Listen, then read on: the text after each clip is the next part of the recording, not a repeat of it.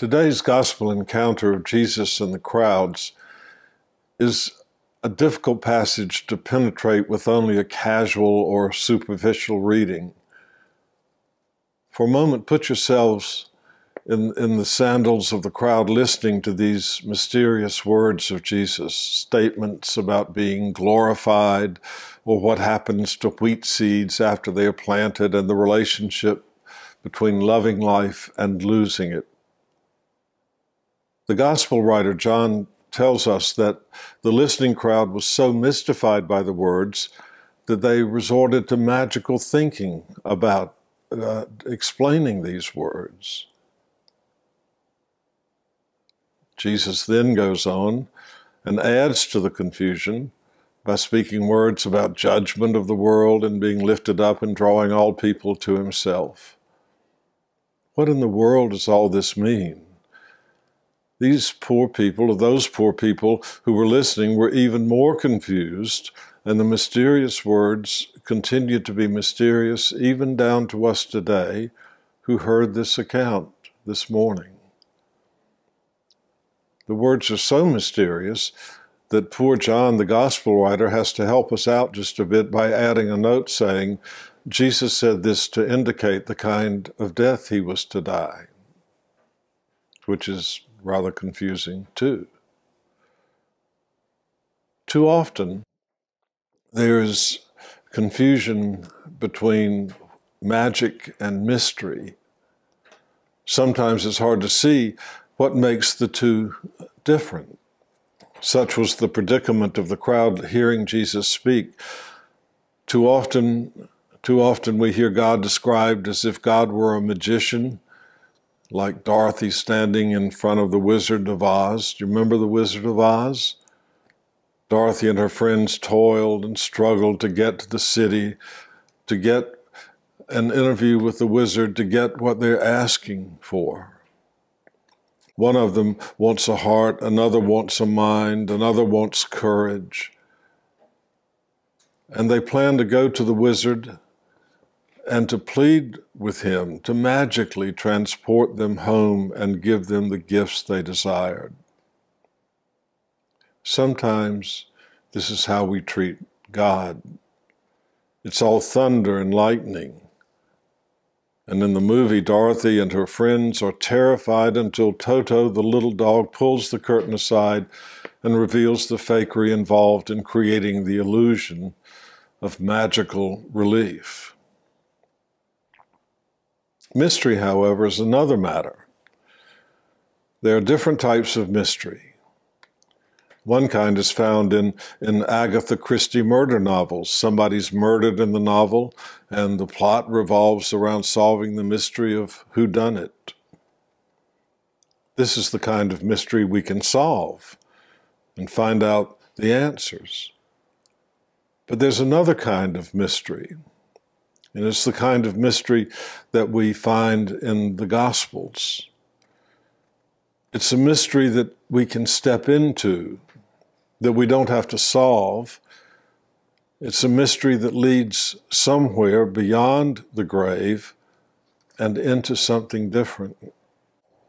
For example, the universe, as I'm told, has no center and no edge. It is infinite. Now, think about that for a moment. It's, it's difficult to imagine anything without a center or an edge. It's simply too vast to even comprehend.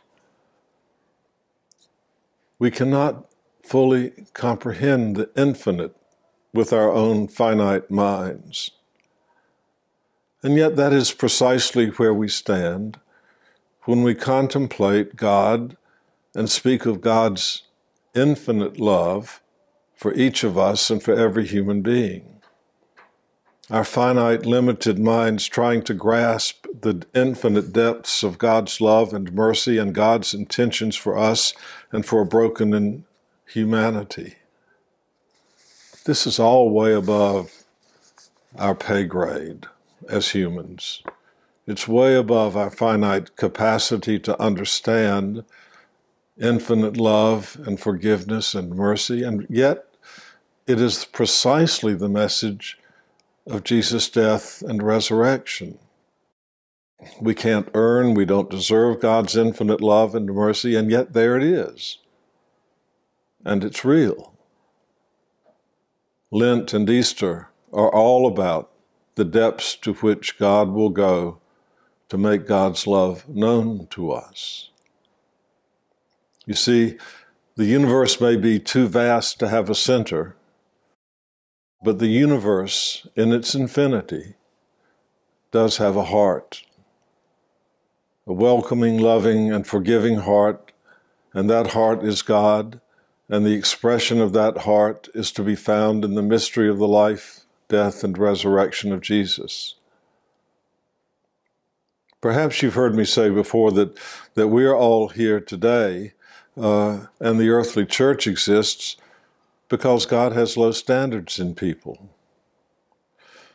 Now, we're here today because the love at the center and the heart of the universe expresses itself in forgiveness and understanding. The life, death, and resurrection of Jesus is all about an ocean depth of divine love and forgiveness and infinite acceptance that will not forsake a world broken by sin and violence. The death and resurrection of Jesus Christ is the unbreakable seal on that promise. That's a mystery.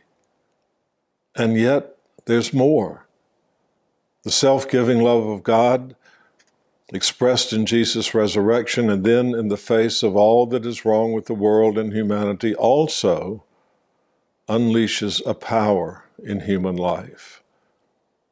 That power, which can be known and felt, and the results of it can be seen, is the continuing power of the resurrected and living Jesus active in human life, and that power leads to service and healing and liberation and reconciliation. It is that very power of the resurrected Jesus that leads us to confront racism and all that oppresses and dampens and distorts human life. It is that power that leads us to seek and suffer, if necessary, for justice and peace. In the resurrection, Jesus has created a new race of people whose feet are firmly planted in the realities of life in this sinful and broken world, and who can face those realities and deal with them and meet them, and yet whose life is also planted firmly in the eternal life that God promises. One of Jesus' titles is Emmanuel, which means God is always with us. That is what love is about and gives us the freedom and the courage that comes from being loved. God is with us, and that is the promise. That is the mystery, and that is the hope and the confidence we gain when we place our courage and our confidence in the mystery of the resurrection of Jesus Christ and in the depths of God's love for us. And the power of Jesus' resurrection in human life makes our world a better, more just, equitable, and abundant place for all people on this planet. And we are part of it.